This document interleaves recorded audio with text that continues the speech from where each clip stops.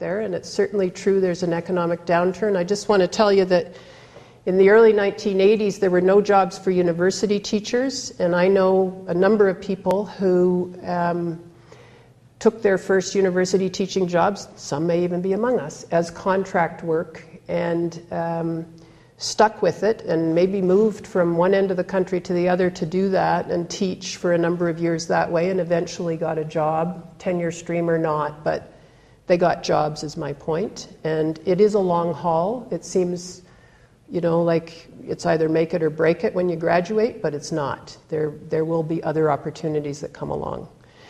Uh, lawyers in the late 80s, when I graduated from law and got called to the bar in 1985, the thing was, oh my God, you know, lawyers are not getting jobs the way they used to, the whole field has changed, blah, blah, blah.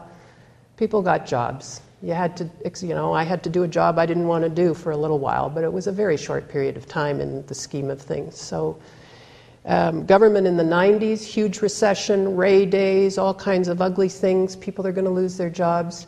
Yes, some people lost their jobs, a lot of people didn't. They had to hire those people back on the inside or the outside because the work had to be done. So, don't lose faith. Uh, do, you know, go for it. And, um, adapt, be prepared to learn, grow, and do trust the process. So, this is just a little bit about changing the world. Since the talk was called Changing the World, I thought I should talk about it. So, the image of a rocket comes to mind when I think about changing the world. So, the first thing you hear is ignition. There's a lot of flame and fury, and people get excited.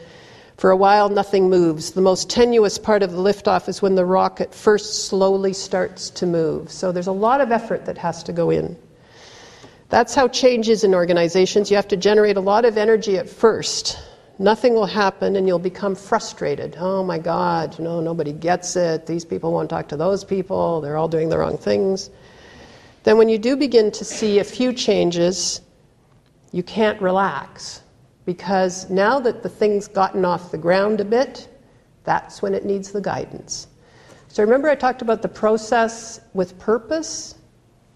That's what's here. You need to know where you're going, you need to know where you're going to put that thing. It's got to have the guidance systems built in. And that's you, that's your brain. Where are we going with this? And you've got to use that. So, takes a lot of effort and perseverance, but in fact, it happens over and over. Um, this doesn't appear to be the shuttle. I tried to get a picture of the shuttle on here to get the concept that we send these things into space. You know, again, when I the first uh, first space uh, mission to the moon was when I was in WLU in the summer course in 1969. I remember it very well. Um, now we, you know, it's like who knows when the last shuttle went to space and came back? Who, uh, when, you know, the space station, how many people are living out there right now? Who knows? We don't even know. It's so not an issue. We do it over and over again. Change takes place over and over again. All of this effort. It does happen. We keep at it. So, this is the famous Margaret Mead quote it's about people. Never doubt that a small group of thoughtful, committed citizens can change the world. It's the only thing that makes it happen. So I'm just reiterating what I've said know yourself. Remember that life is a journey, the destinations change. You have to be adaptable, be open, but focused and purposeful. Commit to a course of action. You can change it later, but go for it. Your, no, your next job doesn't exist, you'll create it. And this is a concept. I, I have a son who's 22, going on 23, and I keep saying if you want them to pay you more because you think you can do a better job, do the job, and then you'll get paid for it. And it's a concept that doesn't, like, he still has this idea that they're going to say, Yes, I can see you can do that job, so I'm going to pay you more, now let's see you do it do the job, and then you'll get. In government, this happened all the time. People would be doing the job. I did a deputy director's job essentially for two years before the director was able to say, okay, now you're a deputy director. You do the job, and then you've created the job. The other thing is, the way you do the job is always going to be different from the other person. So that's why the job that you're going to do doesn't exist right now, because it's going to be different when you do it. You're, you're an elite person. You are going to have an education and you're going to have skills that are different from anybody else's, and you're going to do it differently than anybody else. And the final thing that I've only learned in the last couple of years, and it's been a hard lesson, uh, we spend a lot of time on strategic planning where I work and in many organizations I've been in. But this is what they teach in business school, so I don't know if there's anybody here from business school, but culture will eat strategy for lunch. Um, it's all about the relationships. And that's not just for touchy feely types, that is for everybody. If you can't build the relationships and you don't know how to make deals with people, it's not going to work. You can have the best strategy in the world, nobody has any idea how to implement it. So remember that. You get a job and you get it put in a leadership position because you did a really good job at what you're doing. You know how to do something, you do it really well, and they say, Right, you're going to now lead a whole other group of people to do it. The only trouble is, you have no idea how to do that. Like, motivating other people to do things, inspiring them, and enabling them is another whole skill. So learn that one. I wish somebody had given me that, you know, uh, along the way.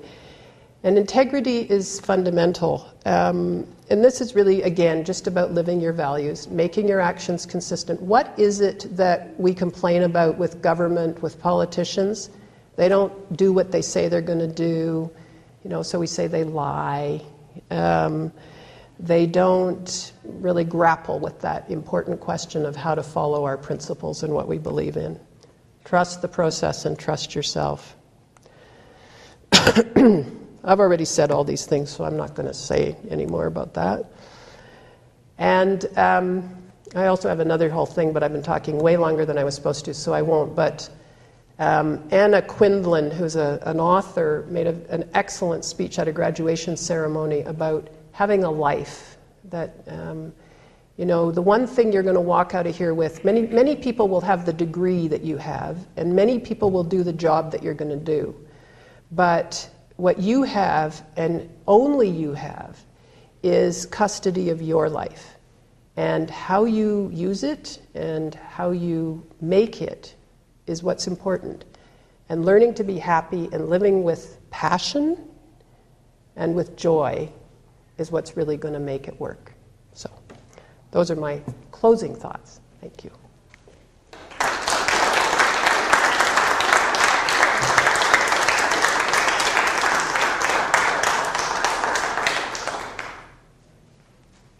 have time for questions? Any.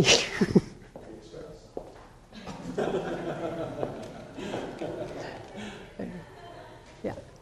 I just moved in a bureaucratic position. I'm chair of the department. We, Sorry, what did you say? I become chair of the department. Yeah. Bureaucrats have a bad reputation, They do. almost as bad as lawyers. How do you, how do you think about being someone who makes things happen as bureaucrat in a situation where, when you were trained, you're trained in a slightly different way? That's, that was the challenge, that's the paradox I'm talking about. We're trained as individual, you know, to be excellent at what you do. And then here you are having to kind of put that aside because sometimes how good you are at something really gets in the way. You probably have a double challenge of trying to keep doing your profession at the same time that you lead.